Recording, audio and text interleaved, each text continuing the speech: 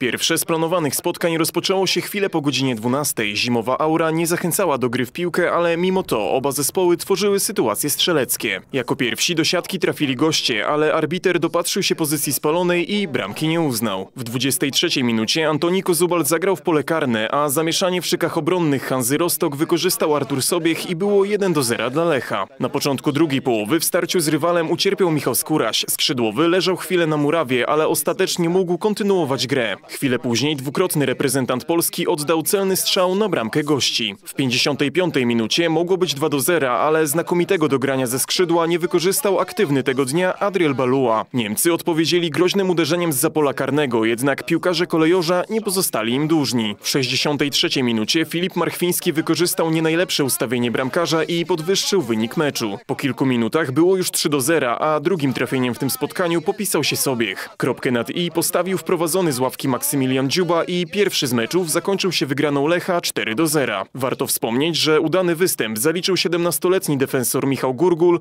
któremu w drugiej połowie ku zdziwieniu obserwatorów towarzyszył na środku obrony João Amaral. Drugie spotkanie toczyło się w nieco spokojniejszym tempie. W premierowych 20 minutach Hansa dwukrotnie mogła zdobyć bramkę, jednak piłkarzom z drugiej Bundesligi zabrakło skuteczności. Poznaniacy odpowiedzieli jedynie kąśliwym dośrodkowaniem Niki Kwekweskiriego i do przerwy utrzymał się bezbramkowy remis.